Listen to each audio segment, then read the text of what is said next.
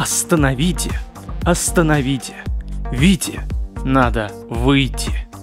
При первом прослушивании данной песни может показаться, будто она не имеет никакого смысла, а повторяющаяся конструкция «Вите, надо выйти» Остановите, остановите, Вите, Вите, надо выйти. сделана исключительно с тем, чтобы ее повторял даже самый непритязательный слушатель.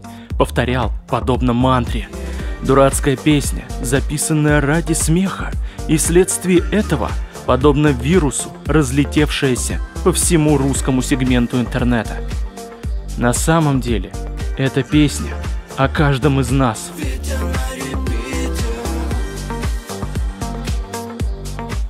В самом тексте песни можно вычленить две основные линии. Первая из них, раскрытая в куплетах, это линия лирического героя, а вторая, раскрытая в рефрене, это линия объекта, на который направлено внимание лирического героя. Почему Витю можно считать только объектом, но никак не действующим лицом, я поясню немного позже. Неназванный лирический герой этой песни возмущен неспособностью индивида сопротивляться окружающему миру. Он зол, и он хочет отправиться в крестовый поход против обыденности и косности. Строчки «Давай запишем эту песню, мать его», чтобы никогда не поставили на радио, Чтоб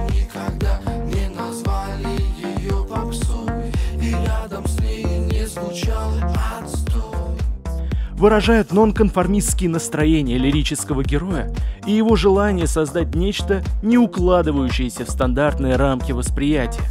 Следующий же куплет содержит прямой призыв к действию.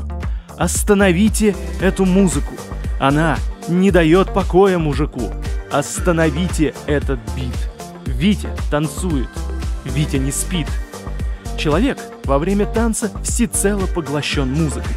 Он ощущает ее ритм и бит. Он сливается с нею душой и телом. Музыка в данном контексте – это все, зачем мы следуем и чему повинуемся, как сознательно, так и бессознательно. Лирический герой страстно желает разрушить стандартные рамки бытия, поскольку осознает, что простой человек, в данном случае Витя, буквально не способен выйти из системы. Витя сможет стать свободным только когда падут привычные рамки, которые его сдерживают все время. Тут можно провести прямую параллель с бойцовским клубом Чака Паланика. Лишь утратив все до конца, ты обретаешь свободу. Теперь пару слов о самом Вите. Во-первых, в контексте данной песни он является лишь объектом, функцией, через которую лирический герой обнаруживает изъяны общества. Титульный персонаж песни Витя подвергается давлению окружающей обстановки и вынужден плыть по течению, несмотря на собственные нужды и желания. При этом его сдерживает любая обстановка. Об этом сигнализируют строчки из бриджа. В Турции или в Египте Вите надо выйти. На самую или пипи Вите надо выйти. Казалось бы, путешествуя, человек сбрасывает оковы привязки к привычному и обретает внутреннюю свободу. Но, к сожалению, даже освободившись внутренне, он остается зависим от социума и продолжает существовать скованным настолько, что стесняется реализовать даже базовые потребности. Вы когда-нибудь слышали про теорию ведра с крабами? Она гласит, что если одного краба посадить в ведро, то он без труда сможет выбраться. Зато, если их там будет несколько, то ни один из них не сможет стать свободным, так как все коллективно будут цепляться за беглеца и мешать друг другу реализовать свой сценарий освобождения. Так же и здесь. Витя сам выбраться не в состоянии из-за давления, которое на него оказывается.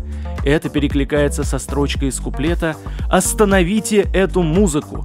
Она не дает покоя мужику!» Витя вынужден действовать как все.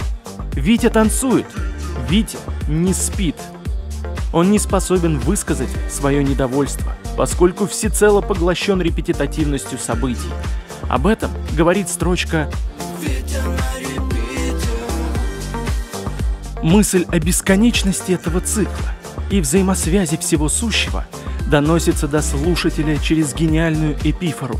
Остановите, остановите, Вите, Вите, Вите надо выйти, которая эхом повторяется на протяжении всей композиции, символизируя одновременно крик души лирического героя, полное растворение Вити в социуме, зависимость от социума, а также глубинную связь объекта и субъекта, Вити и лирического героя песни. Эта песня о каждом из нас и о том, что только нам самим решать, останавливать музыку или продолжать танцевать. Мы все Вити. Остановите